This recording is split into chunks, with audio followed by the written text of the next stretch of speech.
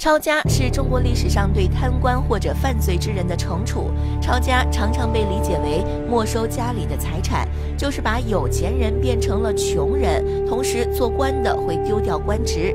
有人说，抄家只是古代一种较轻的刑罚。事实上，朝廷对抄家的这户人，首先是没收财产，其次是对家里的所有人进行了残酷而且变态的惩罚。主要犯罪的人通常被判斩刑或流放宁古塔，其他府中护卫和普通杂役一般没事儿，最苦的就是府上的丫鬟和妻妾女儿。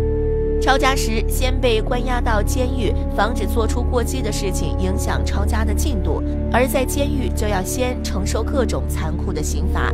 只要监狱里的狱卒不高兴，就会把所有残酷的刑罚全都用一遍。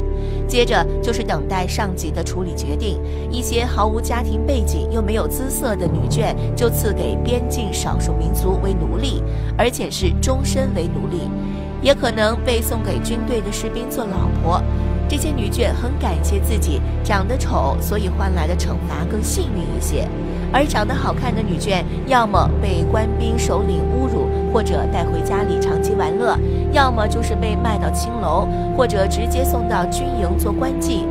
一旦沦为官妓，就等于终身为娼，一世不许赎身。当然，被流放的人也等于生不如死。